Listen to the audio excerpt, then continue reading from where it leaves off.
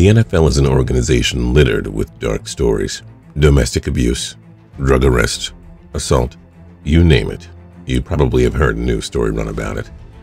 XYZ NFL player that was arrested for, insert crime here. Surely names like Lawrence Taylor, O.J. Simpson, and Aaron Hernandez all ring a rather disturbing bell in most people's heads.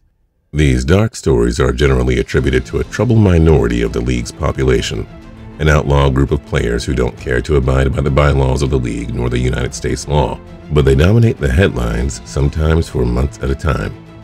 Considering the NFL's eternal war with its public image, it shouldn't be a huge surprise that eliminating this narrative has been a huge focus for the league, especially in the past decade, largely as a response to the increasingly critical and punitive media coverage. This is obviously a very complex issue, and while the league has implemented a number of proactive strategies to not only help steer players in the right direction, but also to properly deal with an issue should it arise, unfortunately, ugly headlines about crimes like domestic abuse still run all too often. The NFL has introduced policies like the revamped Player Code of Conduct, and it has increased disciplinary actions for those who violate it. But all these strategies have been implemented on the tactical side of things, so to speak. Unsurprisingly, the NFL doesn't really seem interested in doing the right thing. Rather, it's more about protecting the league's image and ultimately its bottom line. A huge part of this public relations war for the NFL is championing the league's good guys and putting them on a pedestal saying, this is what the NFL is. Since entering the league in 2004, Larry Fitzgerald Jr. has been considered one of those good guys that the league absolutely loves to point to. But should he be? I mean, he has compiled a surefire Hall of Fame resume during his 15 plus NFL seasons. Fitzgerald has led the league in nearly every receiving category at least once, has hardly missed any games, and has the rare distinction of playing his whole career with the same franchise despite numerous opportunities to leave for greener pastures a feat universally respected by Cardinals and opposing NFL fans alike. During his career, he has racked up 11 Pro Bowl selections and a handful of All Pro selections. So, yeah, he will certainly be donning a gold jacket eventually. But there are plenty of studs on the field. Performance between the lines alone won't jettison a player to the NFL's shortlist of public ambassadors. Outside of his success on the field, Fitzgerald is perceived to be just a genuinely good guy. He's a great public speaker, amicable with the media, and has put up with a lifetime's worth of organizational dysfunction in Arizona, all without demanding a trade or speaking out or any sort of complaints, really. Fitzgerald is also regarded as one of the most philanthropic players in the league. After his mother died of breast cancer back in 2003, he established the Carol Fitzgerald Memorial Fund in her honor. The organization not only offers support to breast cancer related issues, but it also backs causes that Carol held dear, including educating urban youth about HIV/AIDS. In 2005, shortly after his first foundation took off, Fitzgerald established the Larry Fitzgerald First Down Fund to fund positive activities for children during the summer and throughout the year, with an emphasis on supporting kids and families in crisis. In the time since, the First Down Fund has launched a ton of different initiatives that have made a tremendous difference, including partnering with Lenovo to provide nine different schools with valuable equipment to give their students access to new technology. Fitzgerald did not lean just on the teams at his foundation to be philanthropic either.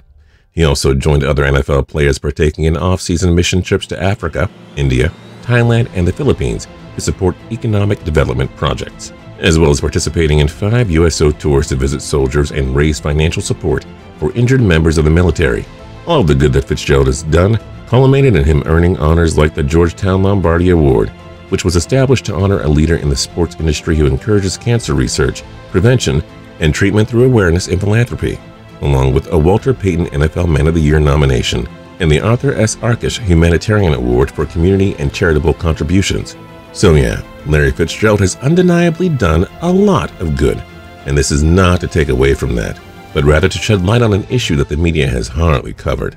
On New Year's Eve in 2008, TMZ Sports reported that a restraining order had been filed and granted against Fitzgerald by his ex-girlfriend Angela Nazario, demanding that Fitzgerald abstain from contact with Nazario and the pair's 11-month-old son Devin. While the incident took place in 2008, the strife began back in 2007, when Nazario had to take Fitzgerald to court to establish paternity. Shortly after the baby was born, the situation began to intensify and reached an apex the weekend of October 26th and 27th. It was Fitzgerald's weekend with Devin, and as was par for the course, he sent his personal driver Jag to pick up Nazario and Devin in Flagstaff and drive them back to Phoenix where Fitz lived. Reportedly, Nazario was getting fed up with being held responsible for bringing Devin all the way to Phoenix, and there had been a few verbal disputes about it, but nothing too serious. Well, that weekend was uneventful, at least until Nazario overheard singer R. Cal Truluck talking about his custody situation with Larry and Jag. Truluck explained that he was trying to convince the mother of his nine-month-old daughter to let him take the baby out of town to meet his family, at what point Nazario remarked she wouldn't allow this with her child because she didn't trust Larry in brackets. Ouch. Fitzgerald was understandably upset by the remark and left the room for a while. After Truluck left the residence, he returned and an argument sparked between the two disgruntled exes, one that was left unresolved and seemed to leave neither party satisfied. Upset, Nazario called Jag, asking to leave early, which only further enraged Fitzgerald. According to the court documents, he responded angrily, telling Angela, You think you can just call Jag like that? He isn't coming for you. Today is my day with Devin, so you can find your own way home. Pretty cold-blooded for the NFL's golden child. Nazario then called her friend Mylyn French to come pick them up, and French claims to have actually witnessed the alleged assault. Listen to the event as French described it. He looked as if he didn't see me sitting there, glaring through me. He wouldn't leave. He grabbed Angie's arms and pushed her on the ground forcefully. He grabbed her head with both hands like a football and forcefully threw her across the room. I was in shock and in awe to see Larry get this way. I've never seen this behavior from him. When she reached for Devin, Larry pushed her away. A few times this happened. Scary allegations to say the least. Unfortunately, it gets worse. Nazario detailed the assault further, saying that he grabbed me by my hair with both hands on the back of my head very, very hard and tossed me across the room. After Nazario tried to leave with their son, she said Fitzgerald grabbed the back of my neck and slammed me down on the marble floor. I, in brackets, was disconnected for a while and could not get up. I remember he mumbled something about, That's what happens when you try taking my son away from me. This was not just some verbal sparring match, this was domestic abuse. Fitzgerald allegedly wrangled the woman so forcefully that when she finally escaped, she realized she had chunks of hair missing. Now, bear in mind, Fitzgerald was never ultimately charged with any crime and all of this still remains alleged but many close to the situation believe that the way the media covered the case played a huge role in the star wideout getting off much easier than many of his peers have in recent years. This isn't to say that the NFL had a hush order on the situation. Let's just say that there were a number of factors at play that resulted in the case being more of a footnote than a headline. To begin, the case was pre-Ray Rice, and as much as we may not want to admit it, many star athletes were let off the hook before TMZ leaked that brutal elevator camera footage ESPN and Sports Illustrated didn't even pick up the Fitzgerald story after TMZ ran it. The Arizona Republic, the local newspaper, barely even noticed it. Arizona's relatively isolated market can't even be blamed for sheltering the local hero.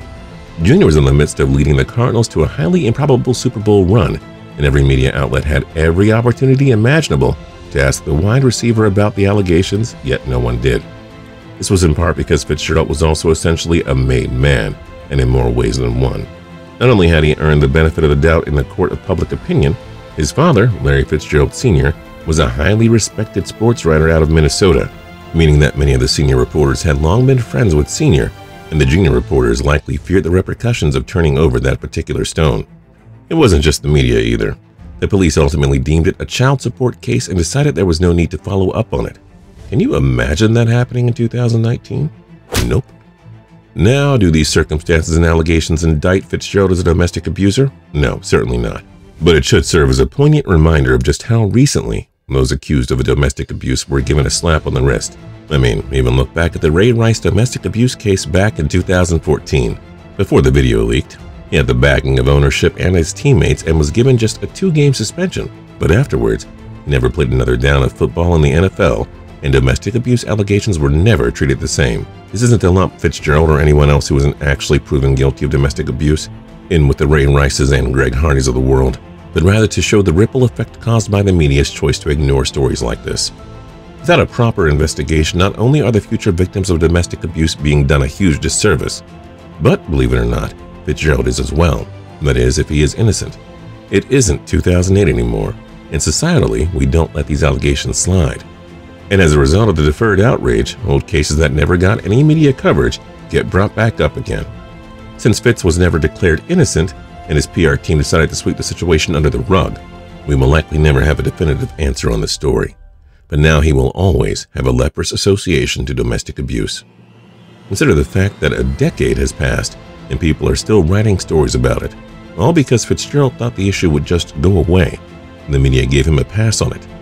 Listen, like I said, I don't know what happened during that fateful weekend in October of 2008, but I do know what has happened since. The NFL has made substantial progress in how they deal with domestic violence. They really have. But in 2019 alone, there have already been three NFL players arrested for violent crimes against women. And unfortunately, the only way to continue the progress is to continue having the uncomfortable conversations about the topic. And unfortunately for people like Larry Fitzgerald, that includes taking a closer look at previous cases that never really saw the light of day. And if you're new here, feel free to click the subscribe button down below to subscribe for more cool videos every single day. And if you like the video, then like the video by smashing that like button. And we'll see you guys next time on TPS.